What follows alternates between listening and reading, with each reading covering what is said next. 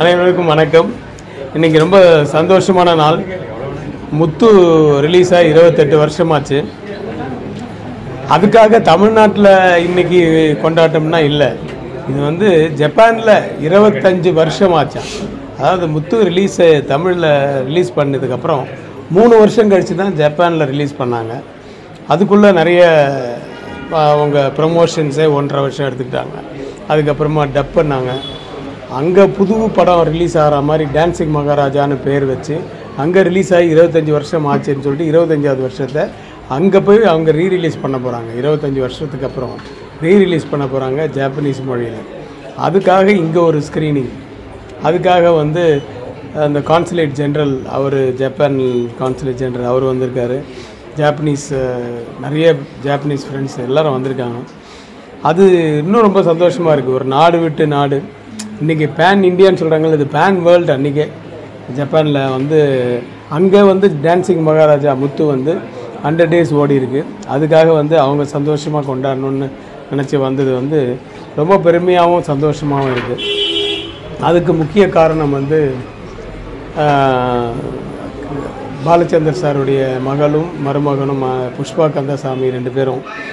அவங்க தான் வந்து அதுக்கு முயற்சி எடுத்து அதுக்கு நிறைய ப்ரமோஷனுக்காக நிறைய வேலை செஞ்சு அங்கே ரிலீஸ் பண்ணுறதுக்கு உதவியாக இருந்தாங்க. ஸோ அந்த சந்தோஷத்துமான நாளை கொண்டாடுறதுக்கு தான் இன்றைக்கி வந்திருக்கோம். முத்து வந்து எனக்கு அமைஞ்சது வந்து இது ஒரு இறைவன் அருள் தான். ஏன்னா நாட்டாமை படம் பார்க்க வந்தார் ரஜினி சார். என்னை கட்டி பிடிச்சி டைட்டாக கட்டி பிடிச்சி எப்பா இப்படி ஒரு படம் நம்ம பண்ணணும் சார் அப்படின்னு சொன்னார். அதுதான் முத்துவாக இருக்கும்னு எனக்கு அப்போ தெரியாது. அதுக்கப்புறம் பாட்ஷா ரிலீஸ் ஆச்சு. அப்போது வந்து எனக்கு ப்ரிவியர் ப்ரீமியர் கூப்பிட்டுருந்தார். அதில் பார்த்துட்டு நான் அவர்கிட்ட நான் ஓப்பனாக பேசினேன் அந்த படத்தை பற்றி அதுக்கப்புறமா திடீர்னு ஒரு நாள் நான் வந்து பெரிய குடும்பம் ஜெமினியோட படம் அந்த படம் ஷூட்டிங்கில் இருக்கும்போது எனக்கு ஃபோன் பண்ணி நம்ம ஒரு படம் பண்ணலாமான்னு கேட்டார்.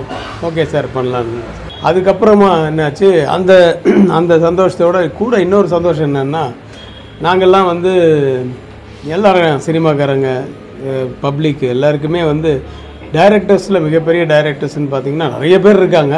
இருந்தாலும் ஒரு மூன்று தெய்வங்கள் மாதிரி இருக்கிறவர் வந்து Sridhar sir Balachander sir Bharathiraja sir so அப்படி பாலச்சந்தர் சார் மேலே நான் ரொம்ப ஒரு அலாதியான ஒரு பிரியம். அவருடைய டைரக்ஷன் மேலே அவரோட படத்து மேலே. ஸோ அந்த படத்துலலாம் பார்த்துட்டு அவர் அண்ணாந்து பார்த்தவங்கள நாங்கள் வந்து அந்த படைப்பாளி சங்கம் போது நாங்கள்லாம் ரொம்ப ஃப்ரெண்ட்ஸ் ஆகிட்டோம் ஸோ அப்படி அவரோட பழகக்கூடிய வாய்ப்பு கிடச்சதே எனக்கு ரொம்ப சந்தோஷமாக இருந்தது. அப்புறம் திடீர்னு ஒரு நாள் ஒரு ஃபோன் பண்ணார். ஃபோன் பண்ணிவிட்டு ஏன் நீ ஏதோ படம்லாம் நடிக்கிற போல் இருக்குது. நான் பார்த்தேன் நான்.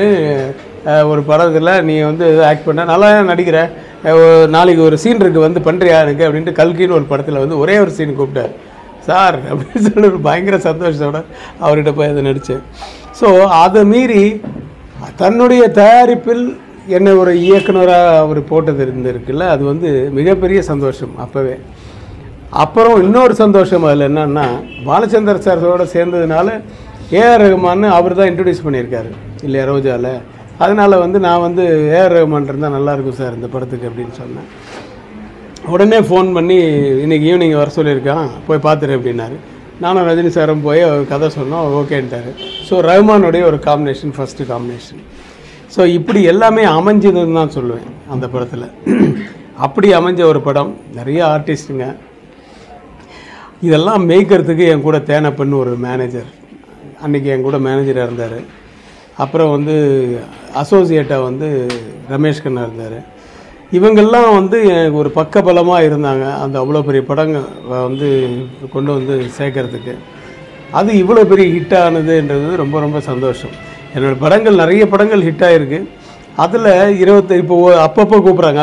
வில்லன்னு பதினெண்டாவது பதினெட்டு பதினெட்டாவது வருஷம் இது இருபதாவது வருஷம். அன்றைக்கி ஒரு நாள் வந்து கமல் சார் ஃபோன் பண்ணி கிட்டத்தட்ட ஒரு ஒரு மணி நேரம் ஃபோனில் பேசியிருந்தார். என்னென்னா தசாவதாரம் முடிஞ்சு பன்னெண்டு வருஷம் ஆச்சு. நான் நினச்சி பார்க்குறேன். அவ்வளோ ஷாக்கிங்காக இருக்குது எவ்வளோ பெரிய பிரச்சனை எவ்வளோ பிரச்சனைகள் வந்தது. எப்படி தான் சமாளிச்சோமோ அதெல்லாம் எனக்கு ஞாபகம் இப்போ ஞாபகம் வந்தது. அதனால தான் உங்ககிட்ட பேசுகிறேன்னு சொன்னார். எனக்கே அது தெரியாது. அவர் ஏன்னா நான் அந்த யூடியூப்பு அந்த இன்டர்நெட்லலாம் ரொம்ப எனக்கு அவ்வளோ டச்சு கிடையாது.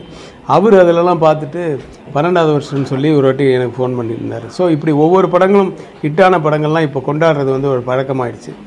அது வந்து அந்த படைப்பாளிகளுக்கும் அதில் அது தயாரிப்பாளர்களுக்கும் அந்த நடிகர்களுக்கும் எல்லாம் ஒரு சந்தோஷமான விஷயம். ஸோ சந்தோஷத்தை கொண்டாடுறதுக்கு நிறைய இருந்தாலும் இதுவும் ஒரு எக்ஸ்ட்ரா சந்தோஷம். உங்களுக்கும் வந்து ஒரு ஒரு ஒரு- இது ஒரு எக்ஸ்ட்ரா கவரேஜ் இல்லையா? அந்த மாதிரி. ஸோ இது இதுதான் ஒரு short short form of Muthu பற்றி நான் இன்றைக்கி பேச வந்தது. வேறு ஏதாவது நீங்கள் மீண்டும் முத்து.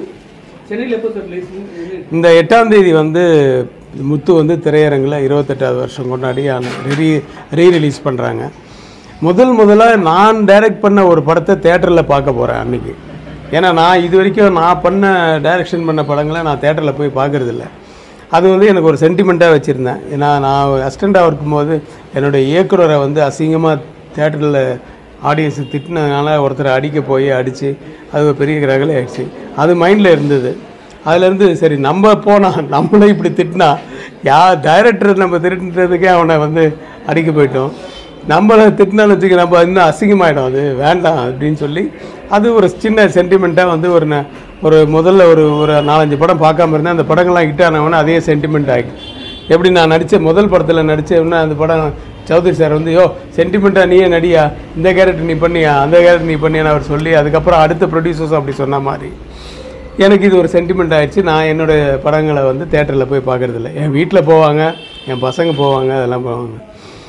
இது இதில் பர்டிகுலராக எனக்கு வந்து படையப்பாக்கு முன்னால் பிறந்த ஜட்ஜ் வந்து இன்றைக்கி இருபத்தஞ்சி வருஷம். அவ அவ்வளோ இருபத்தஞ்சி வருஷம் ஆச்சு அவங்களுக்கு. அவள் வந்து நான் முத்தும் போது பிறக்கவே இல்லை. நானும் அந்த எட்டாம் தேதி வந்து தேட்டரில் படம் பார்க்கணும்.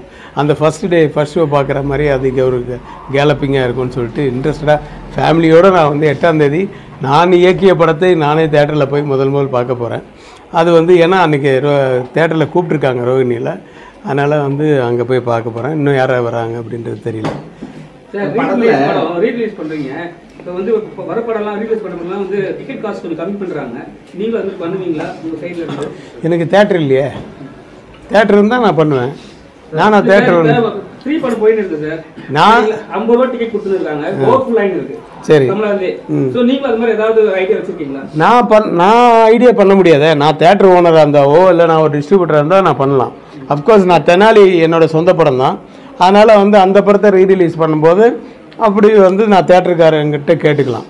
அது நடந்தால் ஓகே ஏன்னா அது வந்து ஒரு எக்ஸ்ட்ரா போனஸ் தான் அந்த படம். அதனால் வந்து அதில் வந்து சம்பாரித்து ஒன்றும் பெருசாக மறுபடியும் வீடு கட்டிட்டு போகிறதில்ல அதனால் அது ஒரு சந்தோஷம் தானே. அதனால் என்னோட தென்னாலி படத்துக்கு நான் இந்த மாதிரி டிஸ்ட்ரிபியூட் டிஸ்ட்ரிபியூட்டர் வராங்களோ இல்லையோ நானாக ரிலீஸ் பண்ணும்போது தேட்டருக்காரங்கிட்ட டிக்கெட்டுக்கு ரேட்டு கம்மி பண்ணுங்க அப்படின்னு சொல்லி நான் கண்டிப்பாக கேட்பேன். ஏன்னா கே அப்போ தானே வருவாங்க. சார் முத்து படத்துல ரெண்டு மூணு சீன்ல வந்து தலைவர் சொன்னா கேட்க மாட்டாரு அப்படின்னு சொல்லி ரமேஷ் கண்ணா மேடை நாமளே மேடை ஏத்துவோம் அப்படின்னு சொல்றாரு. இன்னொரு சீன் மேடை ஏற்றிடுவோம் மேடை இல்ல அவர் வந்து தலைவர் வந்து மேடைக்கு போக மாட்டாரு. மீனா மேடம் அந்த மாலை போடுற சீனு அவர்கிட்டே வா அப்படின்னு சொல்ற சீன் அதே போல பாட்டுல வந்து ஒரு சீன்ல கூட அரசியலுக்கு வருவீங்களா? அது காலத்தின் கட்ட சொல்ற ஒரு டைலாக்லாம் வருது. இது நீங்களா கிரியேட் பண்ணதா இல்ல தலைவர் இல்லை அன்னைக்கு அவருடைய ஃபேன்ஸ் இருந்தவங்க எல்லாருமே நாங்களும் ஃபேன்ஸ் தானே. அன்னைக்கு ரஜினி சாருடைய ஃபேன்ஸ் தானே நாங்களும். எங்களுக்கே தெரியும் அன்னைக்கு ஜெயலலிதா மேடத்துக்கும் இவருக்கு வந்து அந்த பாட்ஷா படத்துக்கு ஒரு ஃபங்க்ஷனில் வந்து இவர் ஏதோ பேசி அவங்களுக்குள்ள ஒரு பிரச்சனை அப்படின்ற மாதிரி நாட்டில் எல்லா இடத்துலையும் பேசிகிட்டு இருந்தாங்க. ஸோ எல்லா இடத்துலையும் பேசும்போது எங்களுக்குள்ளேயும் வந்து சரி அந்த கேரக்டரை வந்து ஹீரோயினை வந்து அப்படி நினச்சிப்பாங்க ஆடியன்ஸு ஸோ அதுக்கு ஒரு டைலாக் போட்டு ஆடியன்ஸு கிளாப்ஸ் வரும் அப்படின்னு நாங்கள் இன்சிஸ்ட் பண்ணுவோம். அவர் அதை அதெல்லாம் வேணாம்ப்பா அதெல்லாம் வேணாப்பான்னு சொல்லுவார். ஆனாலும் நாங்கள் இன்சிஸ்ட் பண்ணி இதை பண்ணணும் சார். அப்போ தான் சார் நல்லா இருக்கும் தேட்டர்லன்னு சொல்லி அப்படி பண்ண வச்சிருந்தான். அவருக்கு உண்மையாகவே அரசியல் டைலாக்ஸ் வேணாம்னு தான் சொல்லுவார். ஆனால் நாங்களாம் சேர்ந்து தான் அவர் ஏற்றி விட்டது. இவன் தான் மேடை ஏற்றி விட்டது. அது மாதிரி அதெல்லாம் வந்து வந்து ஒரு extra plus points for audience whistle அடிக்கிறதுக்கும் இந்த கை தட்டுறதுக்கும். ஏன்னா அன்றைக்கி இருந்த இது. ஆனால் அதனால தான் படம் ஓடிச்சுன்னு நீங்கள் சொன்னீங்கன்னா அது உண்மையே இல்லை. ஏன்னா இப்போ முத்து கூட விட்டுருங்க. படையப்பாவில் பார்த்தீங்கன்னா நீலாம்பரி கேரக்டர் அப்படியே ஜெயலலிதா மேடம்னு சொல்லி எல்லோரும் சொல்லுவாங்க. அஃப்கோர்ஸ் நாங்கள் எழுதும் போதும் நான் எழுதும்போதும் அந்த மைண்டில் வந்து அந்த மாதிரி தான் ஏன்னா அப்படி ஒரு ஸ்டபனான ஒரு லேடிக்கு எப்படியெல்லாம் எழுதணுமோ அப்போ எப்படியெல்லாம் பா பாடி லாங்குவேஜ் இருக்கணுமோ அதெல்லாம் ஃபீல் பண்ணி தான் எழுதணும். ஆனால் அந்த படம் எல்லா நாட்டிலையும் ஓடி இருக்கேன் அங்கே இருக்கிறவங்களுக்கு ஜெயலலிதா இந்த படம் ஜப்பானில் வந்து நீங்கள் கேட்குற இந்த கேள்வி இந்த படம் ஜப்பானில் எப்படி போகும்? அவங்களுக்கு என்ன இமேஜ் இருக்குது ஜெயலலிதா மேடத்துக்கும் ரஜினி சாருக்கும் இருக்க பேட்டர் தெரியாத. ஸோ படம் வெற்றி அடைகிறது வந்து அதனால் இல்லை. இதெல்லாம் வந்து எக்ஸ்ட்ரா போனஸ் பாயிண்ட்ஸ் ஒரு படத்துக்கு வந்து சி படம் நல்லா இருக்குப்பா. சாங்ஸ் நல்லா இருக்குப்பா. ஃபோட்டோகிராஃபி நல்லா இருக்குப்பா. எடிட்டிங் நல்லா இருக்குப்பா. டைலாக்ஸ் நல்லா இருக்குப்பான்ற சொல்கிற மாதிரி அங்கங்கே பஞ்சஸ் நல்லா இருக்குப்பான்னு இது ஒரு எக்ஸ்ட்ரா இது. தெரியுமா? அவருக்கு தெரியாமல் எப்படி நடக்கும்? அவர் என்ன சொன்னாருன்னு கவிதாலயா உள்ள அவங்க புஷ்பா கந்தசாமி மேடம் தான் கேட்கணும் ஆனால் ரொம்ப சந்தோஷப்பட்டார். ஆனால் இப்போ வந்து அவர் லால் செல்லாமில் ஏதோ பிஸியாக இருக்கிறதுனால இன்றைக்கி அந்த ஃபங்க்ஷனுக்கு அவரால் வர முடியலன்னு அவர் சொன்னார் அப்படின்னு எனக்கு கந்தசாமி சார் சொன்னார். அது இப்போ கூட பேசினேன். அந்த பாம்பு இல்லை பாம்பு வச்சாவே அவருக்கு வந்து சக்ஸஸ் ஆகும் அப்படிங்கிறது ஒரு அது ஒரு சென்டிமெண்ட்டாக எல்லாரும் ஃபீல் பண்ணியிருந்தாங்க. நான் எடு வைக்கல. வைக்கல படமும் முடிஞ்சிருச்சு. கடைசியாக வந்து அந்த ஹார்ஸ் சேஸ் தான் கடைசியாக எடுக்கிறோன்னு சொல்லிட்டு அம் நாற்பத்தொம்போது நாள் கூட நான் இதை முடிச்சிட்டேன். அப்புறம் நான் என்ன பண்ணேன்? நான் எடிட்டிங் போயிட்டேன். ஏன்னா வந்து இங்கே எடிட் பண்ணோம் இங்கே டப் பண்ணோம் இங்கே மிக்சிங் பண்ணோம் எஃபெக்ட்ஸ் பண்ணோம் இது இவ்வளோ வேலைகள் இருக்குது ஏன்னா தீபாவளிக்கு ரிலீஸ் பண்ணோம். அது நடுப்புற இவனையும் தேனைப்படையும் விட்டு அந்த சேஸ் எடுத்துகிட்டு வாங்கன்னு சொல்லிட்டேன். அந்த அந்த சேஸில் வந்து நிறைய டூப் ஷாட்ஸ் இருக்குது அதெல்லாம் இவங்கெல்லாம் எடுத்தாங்க. அப்புறம் ரஜினி சாரும் மீனாவும் வந்து நடிக்கிற அன்றைக்கி மட்டும்தான் நான் போனேன். அப்போது என்னென்ன படம் படம் கனல் கண்ணன். என்னென்ன படமே முடிஞ்சிருச்சு. அந்த பாம்பு சீனே எதுவுமே இல்லைண்ணே படம். ஆனால் எல்லாருக்கும் நான் அஸ்டன்ஸுக்கு எல்லாருக்குமே டெக்னீஷியன்ஸ் எல்லாருக்குமே டபுள் பாசிட்டிவ் போட்டு காமிப்பேன். இது எப்படா இருக்குது எங்கே இருக்குது என்னென்ன இருக்குது அப்படின்ட்டு ஏதாவது குறைக்கணுமா அப்படின்ட்டு. ஸோ அதுக்காக போட்டு காமிப்போது என்னென்ன பாம்பு சீனே இல்லாமல் எப்படிண்ணா படம் அப்படின்னு. ஏ அதெல்லாம் ஒன்றும் சென்டிமெண்ட்டில் விடுறான். நான் இதில் குழந்துறேன் பாம்புன்னு சொல்லி அவன் தான் மரத்தில் இருந்து பாம்பு எடுத்து விழுற மாதிரி எல்லாம் பண்ணி அது பண்ணி அதுக்கப்புறம் அவர் ரியாக்ஷன் கொடுத்து அது ஒரு எக்ஸ்ட்ரா ப்ளஸ் ஆகிடுச்சு இதெல்லாமே எக்ஸ்ட்ரா போனஸ்ன்னு சொன்னேன்ல அந்த மாதிரி எல்லாமே அமையிறது தான்ப்பா இல்லை அது வந்து அவருக்கு டான்ஸ் ஆட் டான்ஸ் நாளைக்கு சாங்குனாவே அவருக்கு வேர்த்து கொட்டிடும். அந்த மாதிரி தான் அப்போல்லாம் நிறைய ஸ்மோக் பண்ணுவார். அந்த பெரிய பட பெடஸ்டல் ஃபேனுக்கு முன்னாடி ஜம் அடித்தார்னா அப்படியே ஒரு ப சிகரெட் முடிஞ்சு பத்தரை கை சுடுறது கூட தெரியாது. அந்த அளவுக்கு டென்ஷனாக இருப்பார். ஃபுல்லாக உடம்பெல்லாம் வைத்திருக்கும். வேறு ஷர்ட் அவருக்கு ரெண்டு ஷர்ட் போட்டிருப்பாங்க அந்த இன்னொரு ஷர்ட் கொண்டு வந்து மாற்றிக்கிட்டு அப்புறம் நடுவார். அப்புறம் நிறைய ரிஹர்சல்லாம் பார்ப்பாரு. அவருக்கு டான்ஸ்னால் அவருக்கு இது. ஆனால் அவருடைய டான்ஸ் வந்து மற்றவங்களுக்கு ரொம்ப பிடிக்குது. முக்கியமாக ஜப்பானில் அவருடைய சாங்குக்கு அவர் ஆடுற டான்ஸ் வந்து ரொம்ப ரொம்ப வித்தியாசமாக இருக்குதுன்னு சொல்லி தான் அங்கே படத்துக்கு டைட்டிலே முத்துன்னு இல்லாமல் ஏன்னா முத்துன்ற பேர் அங்கே அவ்வளோ பரிச்சயமான தெரியாது. அதனால் டான்சிங் மகாராஜா அப்படின்னு வச்சுருக்காங்க பேர். அப்போ பார்த்துங்க அவரோட டான்ஸ் எங்கெல்லாம் எப்படியெல்லாம் ஃபேமஸ் ஆகிருக்குன்னு அவர் இது இல்லைனாலும் வேறு. நிறைய எல்லாம் நிறைய ஓடின படங்கள் எல்லாமே இருக்குது நான் கூட பிஸ்தா நடிச்சிட்டு இருக்கேன் பஞ்சதந்திரம் நடிச்சிட்டு இருக்கேன் நாட்டாமை கூட நடிச்சிட்டு இருக்கேன். நிறைய பேர் படையப்பா நடிச்சிட்டு இருக்காங்க. இதில் எது பண்ணவோமோ பண்ண மாட்டோமோன்றது இப்போ தெரியாது. எல்லாமே அப்படியே தாட்ஸ் இருக்குது எப்போ அது கை கூடுதோ? இதெல்லாம் எப்படி அமைஞ்சது? ஒரு முத்து ஒரு படையப்பா ஒரு தெனாலி ஒரு அபய் இதெல்லாம் எப்படி அமைஞ்சது? ஒரு நாட்டாமை ஒரு நட்புக்காக. எப்படி அமைஞ்சுதோ அதை மாதிரி அமையணும் எதுவுமே. அது வெற்றி படமோ தோல்வி படமோ நமக்கு தெரியாது. அமையணும் ஃபஸ்ட்டு சாங்கில் வந்து ஒரு இடம் வந்து தங்க புஷ்பம் தாத்தவனும் மண்ணுக்குள்ள அப்படின்ற மாதிரி எம்ஜிஆரை தாக்கி பண்ண மாதிரி எம்ஜிஆரை தாக்கி இல்லை. அது எம்ஜிஆருக்கும் அதுதான் வாழ்க்கை. தங்க பஸ்பம் தின்னவனுக்கும் மண்ணுக்குள்ளே தான் போனோம் அப்படின்றது தான் இயற்கை. அதை இயற்கையை அவர் சுட்டி காட்டினார் எம்ஜிஆர் தான் தமிழ்நாட்டிலேயே பெரிய ஆளுன்னு சொல்கிறீங்களே அவருக்கும் அதுதானே இயற்கை. ஸோ அதனால் பணம் பணம் பணம் அலையாதீங்க அப்படிங்கிற மாதிரி தான் அவர் இந்த லைன் வரும். இல்லையா? தங்க பஸ்பம் தின்னவனும் மண்ணுக்குள்ளே. அப்படின்னா அவர் அந்த விஷயம் இப்போ உன்ன மாதிரி தெரிஞ்சவங்களுக்கு அது ஓகே. தெரியாதவங்களுக்கும் அது உண்மையாக தானே இருக்கும். நீ தங்க பஸ்மம் இல்லை தங்கத்திலேயே தங்க தட்டிலேயே சாப்பிட்டா கூட தங்க முலாமே பூசிக்கிட்டா கூட நீ ஒரு நாள் மண்ணுக்குள்ளே தானே போய் ஆகணும். அப்படிங்கிறது தான் இயற்கைன்னு சொன்னது தான் அந்த வரி. அது அவர் குறை சொல்கிறது இல்லை அவருக்கே அந்த கதின்னா அப்போ நாமெல்லாம் யார்? அப்படிங்கிறது தான் அது உள்ள அர்த்தம். பாரு இத்தனை வருஷம் கழிச்சு அர்த்தமே தெரியாமல் கேட்குறாரு இல்லை இல்லை இந்த பேன் இண்டியா பேன் இண்டியான்றாங்களே இதெல்லாம் நமக்கு வந்து அன்றைக்கி தெரியாது. ஆனால் நிறைய படங்கள் எங்களுடைய படங்கள். அன்னைக்கு வந்து நிறைய ஸ்டேட்ஸில் நிறைய லாங்குவேஜஸில் டப் பண்ணி அங்கெல்லாம் பெரிய ஹிட் ஆயிருக்கு. நிறைய படங்கள். என்னுடைய படங்கள் மட்டும் நான் சொல்லலை. அந்த காலத்துலேருந்தே நிறைய படங்கள் அப்படி ஓடி இருக்கு. அதே மாதிரி அதர் லாங்குவேஜ்லேருந்து ஆர்டிஸ்ட் போடுறதெல்லாம் வந்து அன்றைக்கும் நடந்திருக்கு. பஞ்சதந்திரம் அதுக்கு ஒரு எக்ஸாம்பிள் பார்த்தீங்கன்னா கமல் சார் இல்லாமல் கேரளாலேருந்து ஜெயராம் அது ஆந்திராலேருந்து ஸ்ரீமன் அவர் கர்நாடகாலேருந்து ரமேஷ் அரவிந்த். அப்புறம் யூகி சேது தமிழ்லேருந்து ஐயர் குடும்பத்துலேருந்து இப்படி ஒரு பேன் இண்டியா படம் மாதிரி அன்னைக்கு நாங்க பண்ணியிருக்கோம் ஆனா அன்னைக்கு அந்த பேர் தெரியாது. இதுல இன்னைக்கு அந்த ஜெயபாரதி பேர் தெரியும் ஜெயபாரதி இருக்காங்க. ஜெயபாரதி அந்த கன்னட ஆக்டர் ஆமா. அமரீஷ் யாரோ பேரு? அவர் பிரபாகர். பிரபாகர். பிரபாகர். வந்து அன்னைக்கு அந்த வில்லனா நடிச்சது அவர் தான். ஏன் நம்ம இவர் இவர் தெலுங்கு தானே? சரத் பாபு. அவர் தானே மெயின் ரோல் ஆக்சுவலாக அரவிந்த் சாமி இல்லை ஜெயராம் போன வேண்டியது. அதுக்கப்புறமா சரத் பாபு போட்டு அதான் நான் நீங்கள் சொன்னேன் அதில் அதில் இந்த படத்தில் நடிச்சிருக்கவங்க அந்த டெக்னீஷியன்ஸு இதுலலாம் வந்து சில பேர் இல்லை. எல்லாம் இறந்துட்டாங்க. முக்கியமாக அந்த ப்ரொடியூசர் பாலச்சந்தர் சார் இல்லை. ஸோ இருந்தாலும் நம்ம அதை கொண்டாடிட்டு இருக்கோம். நம்ம உயிரோடு இருக்க வரைக்கும் இதெல்லாம் கொண்டாடுவோம். இருக்கிற வரைக்கும் சந்தோஷமாக இருப்போம். அதுதான் எல்லாருக்கும் சொல்கிறது இப்போ ஆ, ரமேஷ் கண்ணா உங்கள் கேள்விகளுக்கு பதில் சொல்லுங்கள் கேள்வி இல்லையா? எல்லா கேள்வியும் சொல்லிட்டீங்க. ஏன்னா இப்போ சுச்சுவேஷன் போயிட்டு இருக்கு. அது எனக்கு தெரியுது. ஸ்டேஜ்ல இருக்காருன்னு ஒரு தகவல் வருது. அவரை எல்லாம் வல்ல இறைவன் அவரை நல்லபடியாக காப்பாற்றணும் அப்படின்றது தான் எங்களுடைய ஆசை. ஏன்னா சினிமாக்காரனா நானும் அவரை வச்சு ஒரு படம் பண்ணியிருக்கேன். அவர் ரொம்ப நல்லா இருக்கணும்னு ஏன்னா அவர் ரொம்ப நல்ல மனுஷன். அதுக்கப்புறம் ஒரு கதையும் சொன்னேன். ஏ ரவி இந்த கதை நல்லா இருக்குதுப்பா. இது பண்ணலாம்ப்பா அப்படின்னாரு ஒரு தடவை. ஸோ அப்புறம் அவருடைய மகனை கதாநாயகனை ஆக்கணும்னு சொன்ன உடனே முதல் முதல்ல அவர் கூப்பிட்டு வீட்டுக்கு கூப்பிட்டு பேசின டேரு டேரக்டரில் நான் ஒருத்தன். ஆ அவரோட உட்காந்து அவர் ரெண்டு கதை வேற சொன்னார். நான் ரெண்டு லைன் சொன்னேன். சொல்லிட்டு இது நல்ல எல்லாம் எது செட் ஆகுதோ அப்போ வந்து பண்ணலாம் சார்னு சொல்லிட்டு வந்தேன். அவர் வீட்டுக்கு கூப்பிட்டு அப்போது பேசுனது. அதுக்கப்புறம் மேடையில் பேச பார்க்குறது தான் ரொம்ப கஷ்டமாக இருந்தது அவர் அந்த நிலைமையில் பார்க்குறதுக்கு. எல்லாமே இறைவனுடைய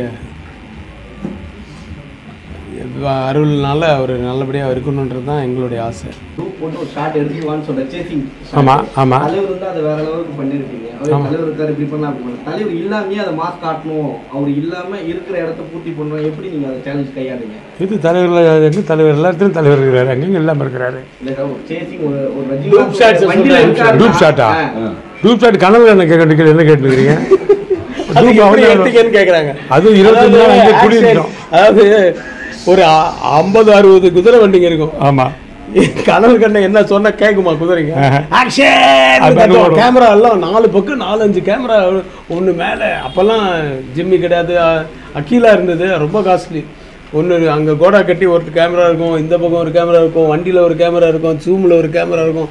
இப்படி அஞ்சாறு கேமரா எல்லா கேமரா அப்படின்னா எல்லாமே இப்போ ஃபிலிமு ஃபிலிம் ஓடிட்டு இருக்கும்போது ஆக்ஷன்னா அறுபது குதிரையில் வந்து ஒரு முப்பத்தஞ்சு குதிரை வரும். ஒரு பதினஞ்சு குதிரை ஸ்லோவாக வரும். பரவாயில்ல வாங்க வாங்க ஒரு அஞ்சு குதிரை திரும்பி நின்று திரும்பிக்க அப்ப கட் கட் கட் கட். என்ன பேக்கை காட்டுது. சே சே சே பேக்கை காட்டுது சொல்லி கட் பண்ணுவோம். இது நான் அப்போ முதல் நாள் மட்டும் அதை பார்த்துட்டு இந்த குதிரை கிட்ட வேலை வாங்குறதுல நீ வாங்கிக்க. எனக்கு நிறைய வேலை இருக்கு. நான் போயிட்டேன். ஆமா அது இருபத்தஞ்சு நாள் கிட்ட எடுத்தோம். இல்லை சார்? பதினாறு நாள். பதினாறு நாள் எடுத்தோம். அறுபத்தி ஆறு நாள் அந்த படம் அறுபத்தஞ்சு நாள்ல பதினாறு நாள் அந்த சேஸ் Chase மட்டுமே. மிச்ச படம் பூரா நாற்பத்தொம்பது நாள்ல எடுத்தது. அதுல ஒரு முக்கியமான விஷயம் என்னன்னா ரஜினி சார் ஃபர்ஸ்ட் ஷெட்யூல் முடிச்சுட்டு மைசூருக்கு போயிட்டு வந்த உடனே சொன்னார் சார் ஓப்பனிங் எடுத்துட்டோம். ஃப்ளாஷ்பேக் ஃபுல்லாக எடுத்துட்டோம். அதுக்கப்புறம் கிளைமேக்ஸ் எடுத்துட்டோம். இந்த சேஸ் இதெல்லாம் இது அந்த இதெல்லாம் எடுத்துட்டோம். சார் படமே முடிஞ்ச மாதிரி இருக்கு சார். அது. நீங்க வேற இனிமே தான் சார் இந்த இதுக்குள்ள. போகணும்னு சொல்லிட்டு அதுக்கப்புறமா ஒரு வீடு பார்த்து ஒரு அரண்மனையை பார்த்து அது ரொம்ப பாழடைஞ்ச அரண்மனையை எல்லாம் க்ளீன் பண்ணி ஃபுல்லாக அதை ரீ ரீமாடல் பண்ணி அடையாறில் திருவாங்கூர் பேலஸில் எடுத்தது தான் அந்த வீடு சீன்ஸ் எல்லாம். இன்னும் இவ்வளோ இருக்கா? இன்னைக்கு என்னமோ படமே முடிஞ்ச மாதிரி இருக்கு. என்ன சார் நீங்க எடுத்த உடனே கிளைமேக்ஸ் எல்லாம் முடிச்சிட்டீங்க? ஃப்ளாஷ்பேக் வேற முடிச்சிட்டீங்க. அப்படின்னு சொல்லி ஏன்னா மைசூர் போனோம்னா அந்த ஷெட்யூல் ஃபுல்லாக முடிச்சிட்டேன் முதல்ல. படத்தையே இப்போ ரீமேக் பண்ண எந்த படத்தை சார் பண்ணுவீங்க? எல்லா படத்தையும் பண்ணலாம். சூப்பர் ஸ்டார் படத்தையே ரீமேக் பண்றதா இருந்தா எந்த படத்தை பண்ணுவீங்க? அவர் நடிக்கிறதா இருந்தா எந்த படத்தை வேணா பண்ணலாம். அவர் நடிக்கிற எந்த படம் வேணாலும் பண்ணலாம். பண் ப- முடிவு Remake பண்ணதுக்கு? அப்புறமா அது எப்படி இருந்தா நல்லா இருக்கும்னு அப்புறம் தான் யோசிக்கணும். கதை எழுதும் போதே டபுள் ஆக்ஷன் ஸோ ரெண்டு இதுவுமே கேரக்டருமே சூப்பர் ஸ்டார் தான் பண்றாருன்னு எழுதுனீங்களா? இல்ல இல்ல இல்ல இல்ல. ப- கதை எழுதும்போது அதுல வந்து ஒரு சாமியார் பண்றாருன்னு தான் முதல்ல பேசிட்டு இருந்தோம். அப்புறமா அந்த சாமியார் நீங்களா இருந்தா ஏன் சார் இருக்கக்கூடாது நீ உங்க இதுவாக இருந்தாருன்னா அதுக்கப்புறம் தான் ஃப்ளாஷ்பேக் இதில் என்னன்னா ஒரு லைன் சொன்னார். அந்த லைனில் சொல்லிட்டு எங்ககிட்ட விட்டார். நீங்கள் அவர் ஸ்க்ரீன் ப்ளே பண்ணிட்டு வாங்கன்னு. நாங்கள் ஒரு ஒரு வாரமாக பத்து நாள் உட்லண்ட்ஸில் ரூம் போட்டு நான் ஒரு ஏழு பேர் நான் இவன் எல்லாம் உட்காந்து ஸ்க்ரீன் ப்ளே பண்ணி முடிச்சிட்டோம். முடிச்சிட்டோன்னே ஆனால் அந்த டெய்லி வந்து அவருக்கு அப்போ பாங்குரு பக்கத்தில் இருக்கிற இடம் தான் அவர் இடம் இந்த கீழே அண்டர் கிரவுண்டில் ஒரு ஆஃபீஸ் ரூம் இருக்குது அங்கே வர சொல்லுவார். இன்றைக்கி என்ன பேசுனீங்கன்னு கேட்டால் அதெல்லாம் சொல்லுவோம். ஆ இது இது நல்லா இருக்குது ஆ அது வேணாம். அது அந்த படத்தில் பண்ணியிருக்கேன். இப்போ பண்ணிட்டு நல்லா அது அது வேணாம். இது வேணாம். இது வேணாம். அது வேணாம். அதுன்னு மாற்றி அது நல்லா இருக்குது இது நல்லா இருக்குது வச்சுக்கோங்க. அது வச்சுக்கங்க. அது வச்சுக்கன்னு சொல்லுவார். அதுக்கப்புறம் அவர் ஏதாவது புதுசாக ஒரு சீன் சொல்லுவார். இது எப்படி இருக்கும்? அப்படின்ட்டு. நல்லா இருக்கு. அப்படின்னு சொல்லி சொல்லுவோம். தெரியாதா நான் வேணாம். புரியுது. நீங்கள் சிரிப்பிலே அப்படின்னுவார். ஸோ இப்படியே வந்து ஒரு கதை வந்து செட் ஆயிடுச்சு. அப்போ சொல்கிறாரு நான் உங்களுக்கு ஒரு பிரிண்ட் அரேஞ்ச் பண்ணியிருக்கேன் ஒரு மலையாள படம் நீங்கள்லாம் போய் பாருங்க அப்படின்னாரு. தேன்மாவின் கொம்பை அப்படின்னு. சம்மந்தமே இல்லை. சம போய் பார்க்குறோம் என்ன சார்? அந்த படத்தை வச்சு அந்த படத்தை பார்த்துட்டு தான் நான் அதை மைண்டில் வச்சுக்கிட்டு ஒரு லைன் சொன்னேன். அதை நீங்கள் டெவலப் பண்ணீங்க. ஆனால் இன்னி சார் அது முதல்லே காமிச்சிருக்கலாமே சார். எங்களுக்கு ஈஸியாக இருந்திருக்கேன் எது முதல்லே காமிச்சிருந்தா அதை அப்படியே பண்ணியிருப்பீங்க இப்போ பாருங்கள் நீங்கள் பண்ணதுக்கு அதுக்கு சம்மந்தமே இல்லை. ஆனால் பேஸ் இருக்குது அவைசன்மைக்கு மாதிரி. பேஸ் இருக்குது பேஸ்னா ஒரு முதலாளியும் ஒரு தொழிலாளியும் ஒரு ம- ஒரு பெண்ணை காதலிக்கிறார்கள். அப்படின்றது தான் பேஸ். இல்லையா? இதில் ஃப்ளாஷ்பேக் எல்லாம் நீங்களே அந்த வயசானவர் பண்ணுன்னு சொன்னால் அந்த வயசானவர் தான் திரும்பி வந்தார். முதல்ல சாமியாராக இருந்தார். அந்த வயசானவர் தான் சாமியார். அப்படின்னு இப்படி கொஞ்சம் கொஞ்சமாக கொஞ்சம் கொஞ்சமாக மாறினது அந்த ஃப்ளாஷ்பேக் வந்தது இதெல்லாம் வந்து சார் இந்த மாதிரி ஒரு படத்தில் வந்து ஒரு பெரிய ஒரு ஒரு வேற ஒரு இது இருக்கணும் சார்னு ஃப்ளாஷ்பேக் வேணும்னு சொல்லி அது கொண்டு வந்து அதெல்லாம் நிறுத்துறது அதெல்லாம் மிகப்பெரிய அது அப்படி அப்படியே தோன்றதெல்லாம் போய் சொல்லுவோம் கொட்டுவோம் அது நல்லா இருக்கிறதெல்லாம் பொறிக்குப்பாங்க மிச்சம்லாம் தூக்கி போடுவாங்க. அதுதான். சரி நல்லா இருக்கிறதெல்லாம் பொறிக்கப்பேன். மிச்சதெல்லாம் தூக்கி போட்டுருவேன். இந்த மாதிரி இருக்கும்போது அப்போ இப்படி தான் வந்து சார் இப்போ வந்து இது இருக்குது ஃபஸ்ட்டு இந்த செகண்ட் ஹாஃபில் வந்து இந்த ரெண்டு ரீலுக்கு அப்புறமா மறுபடியும் இப்போ கிளைமேக்ஸுக்கு போனோம். நடுவில் ஏதோ இதுவாக இருக்குன்னு சொல்லும்போது நாங்கள் பேசுனது தான் ஒரு எபிசோடு பூரா பண்ணது தான் லெட்டர் சீனு இவன் கொடுத்தான் அவன் கொடுத்தான் அவனுக்கு கொடுத்தான் அவனுக்கு கொடுத்தான் அவனுக்கு கொடுத்தான் அவனுக்கு கொடுத்தான்னு சொல்லிட்டு ஒரு போவோம் ஒரு சீன் சாங் அது பேசி அது ஒரு சாங்குக்கு லீடுன்னு சொல்லி அதை பேசணும் ஸோ லெட்டர் கொடுக்கறது பூரா ஒரு நாள் எடுத்து லெட்டர் வந்து எல்லாரும் பார்க்கறது வந்து ஒரு நைட்லேயே ரெண்டு நைட்லயா ஒரே night. ஒரே நைட்டில் அதை எடுத்து வடிவேலு உழுந்துனே இருப்பாங்க அந்த அந்த சீனு இப்படி அந்த சீன் முடிச்சு அதுக்கப்புறம் சாங் லீடு வந்து அப்புறம் அந்த இந்த சாங் போடுவோம். ஸோ அது திலான அந்த திலான திலான முடிஞ்ச உடனே கிளைமேக்ஸ் லீடு கிளைமேக்ஸ் அப்படி வந்துடும் நீங்களா? மீனா மேடம் ஹீரோயினா சூஸ் பண்ணது நீங்களா? சூப்பர் ஸ்டாரா இல்லை எது ஒன்றுமே டைரக்டரு ப்ரொடியூசரு அந்த. ஹீரோ மூணு பேரும் சேர்ந்து தான் பண்ண முடியும். இப்போ அ- அவர் மீனாவே சொல்லியிருந்தாருனா கூட வேற யாராவது சொல்லியிருந்தா கூட நான் எனக்கு அது பிடிக்கல அப்படின்னா பர்சனல் வெஞ்சன்ஸோ அது இதெல்லாம் நம்ம இங்கே கதைக்காகாது இன்றைக்கி அவங்க மார்க்கெட்டில் இருக்காங்க. அந்த மாதிரி ஒரு அழகான ஆனால் ஒரு அழகான ஹீரோயின் மட்டும் ஹண்ட்ரட் பர்சன்ட் வேணும். அவங்க நல்ல பெர்ஃபார்மராக இருக்கணும். ஏன்னா கதையே அவங்கள சுற்றி தான் ஒரு பெண்ணை ரெண்டு பேர் காதலிக்கிறாங்க அப்படின்னப்போ அந்த பெண் நான் எவ்வளோ பெருசாக இருக்கணும்? எவ்வளோ அழகாக இருக்கணும்? எவ்வளோ மார்க்கெட்டபுளாக இருக்கணும்? நல்லா தமிழ் பேசணும். எல்லாம் இருக்குது டான்ஸ் ஆட தெரியணும். அந்த மாதிரிலாம் இருக்கு இல்லையா? ஸோ அப்படி வந்து மீனன் சொன்னோன்னா அவர் ஓகேன்னாரு நாங்களும் ஓகேன்னா ப்ரொடியூசரும் ஓகேன்ட்டார் முன்னணி நடிகர்கள் நிறைய பேர் வச்சு நீங்கள் படம் இயக்கிட்டீங்க. இயக்கணும்னு ஆசை இருக்குது நான் அதர் லாங்குவேஜில் பேசிட்டு தான் இருக்கேன். அதர் லாங்குவேஜில் படம் பண்ணிட்டு தான் இருக்கேன். இங்கேருந்து போய் பாலகிருஷ்ணா வச்சு ஒரு படம் கொடுத்தா அந்த சூப்பர் ஹிட் அது. அங்கே ஹண்ட்ரட் டேஸ் இந்த காலத்தில் ஹண்ட்ரட் டேஸ்னா பார்த்தேன் அதே மாதிரி அங்கே கோட்டி கோப்பான்னு சுதீப் வச்சு கொடுத்தேன் அதுவும் பெரிய ஹிட்டு அதுவும் ஹண்ட்ரட் டேஸு ஸோ இங்கே வந்து எனக்கு சின்ன படங்களாக வரும்போது நானே சொல்லுவேன். வேண்டாம் சார் சின்ன படங்களாக வருது. இதில் வந்து நான் வந்து தேவையில்லை எனக்கு. இப்போ நான் சம்பளத்தை குறைச்சி என்ன சம்பளத்தை நான் கால்வாசி சம்பளம் வாங்கணும். அப்படி வாங்கி அந்த படம் ஓடலைன்னா மறுபடியும் எனக்கு சுத்தமாக ஒன்றுமே இல்லாமல் போயிடும். அதுக்கு நீ படமே பண்ணாமல் நான் அதர் லாங்குவேஜில் படம் பண்ணிட்டு போகிறேன் அப்படின்னு சொல்லிட்டு எனக்கு இருக்கிற மரியாதைக்கு யார் கூப்பிட்றாங்களோ அங்கே தான் நான் போய் பண்ணுறது நானாக போய் இது வரைக்கும் எந்த சான்ஸ் யாருக்கிட்டையுமே கேட்டதில்லை. ஃப்ரம் த பிகினிங் அது என்னுடைய ராசி. அது அதுக்கப்புறமா கேட்கறதுக்கு வெக்கமாட்டப்பட்டு கேட்கறதில்ல. இப்போ அதனால தான் என் ப்ரொடக்ஷன் ஆரம்பித்து மறுபடியும் தெனாலிக்கு அப்புறம் மறுபடியும் கூகுள் கிட்ட போயிருந்தேன் இப்போ ஹிட் லிஸ்ட்னு ஒரு படம் வரப்போகுது. அதில் விக்ரமன் சாரோட பையனை ஹீரோவாக போட்டிருக்கேன். ஏன்னா விக்ரமன் சார் மூலியமாக தான் அந்த புது வசந்தம் படம் அவரும் ஒரு ரீசன் என்ன டைரக்டரானதுக்கு அதனால் அது ஒரு ஒரு நன்றி கடன் மாதிரி. அது ப- அந்த பையனை வந்து ஹீரோவை போட்டு சரத்குமார் கௌதமா சேவன் வாசுதேவன் இந்த மாதிரி நிறையா சித்தாரா அந்த புது வசந்தத்தில் ஹீரோயினாக நடித்த பொண்ணு? இன்றைக்கி அம்மா ஹீரோவுக்கு ஹீரோவுக்கு அம்மாவை நடிக்கிறேன் விக்ரமன் சார் பையனுக்கு. பாருங்க எல்லாம் ஒரு கனெக்ஷன் ஸோ அது ஒரு புது வசந்தம் யூனிட் மாதிரி அது ஆயிடுச்சு. ஆமாம் அது வந்து ஸ்ரீதர் சார்னுடைய நெஞ்சில் ஒரு ஆலயம் படம் பார்த்தீங்கன்னா அது இருக்கும். இந்த மாதிரி ஒரு ஷாட்டு அந்த மாதிரி ஒரு ஷாட்டு வந்து பண்ணணும்டா அப்படின்னு பேசிகிட்டு இருக்கும்போது கனல் கண்ணை ரெடிண்ணே பண்ணிடலான்னு சொல்லிட்டு கனல் கண்ணை அந்த கிரேன் எல்லாம் உள்ளே விட்டு இன்றைக்கி கிரேனு அன்னைக்கு அதெல்லாம் எதுவுமே இல்லாமல் மிச்சல் கேமராவை தூக்கி அடியில் விட்டு எப்படி அந்த ஊஞ்சியில் தூக்குனாங்க கொஞ்சம் அடியில் விட்டு அதுக்கப்புறம் தேவிக்கா கிட்ட போயிட்டு தேவிக்கா இப்படி இப்படி கிரெயின் மாதிரி போகும். அதனால் மிச்சல் கட்டை தூ கட்டையோட தூக்குறது அவ்வளோ வெயிட் இருக்கும் மிச்சல் கேமரானா அந்த மிச்சல் கேமரா வச்சு அன்றைக்கே ஸ்ரீதர் சார் பண்ணியிருக்காங்க. அதுக்கப்புறம் இருபத்தெட்டு வருஷத்துக்கு முன்னாடி என்ன அட்வான்ஸ் டெக்னாலஜியில் என்னெல்லாம் வந்ததோ அதை வச்சு நாங்கள் பண்ணோம். ஜிம்மி எல்லாம் வச்சு. இன்றைக்கி வேறு மாதிரி பண்ணலாம். கிராஃபிக்ஸில் பண்ணிடலாம். அதெல்லாம் பண்ணுவோம் thank you thank you thank you very much